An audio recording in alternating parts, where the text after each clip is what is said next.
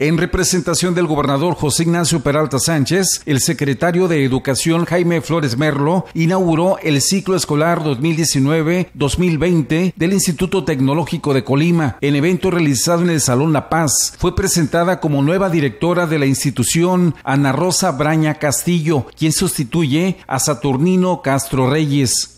Así ha quedado demostrado en la gestión del gobierno educador de José Ignacio Peralta Sánchez que es una prioridad, instruyéndonos para que la Secretaría de Educación, mediante una estricta y eficiente planeación, armonización con los planes y programas del Gobierno de México, se signifique por ofrecer servicios educativos de calidad, con calidez, eficiencia, eficacia, pertinencia y equidad, siempre trabajando de manera coordinada y respetando el correspondiente ámbito de competencia.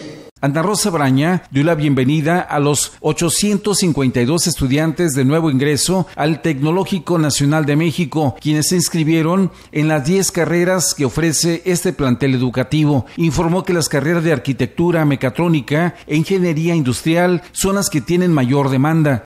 Deseo que su estancia aquí sea gratificante y que siempre recuerden su paso por esta institución como algo muy provechoso y significativo para sus vidas.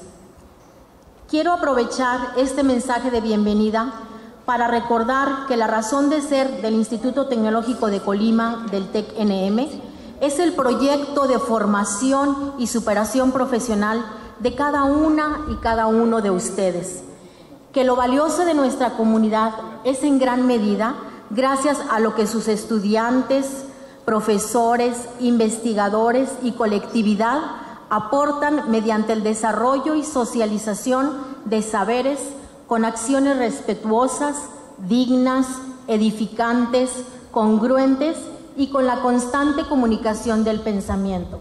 En el evento de inicio de ciclo se entregaron reconocimientos a los estudiantes que tuvieron el semestre anterior los mejores promedios de calificaciones. El Tecnológico de Colima tiene un índice de absorción del 89%. La institución analiza abrir un semestre intermedio que sería de enero a junio a fin de aceptar a más estudiantes en las 10 carreras profesionales. Noticias 12.1 Marcos Rivera.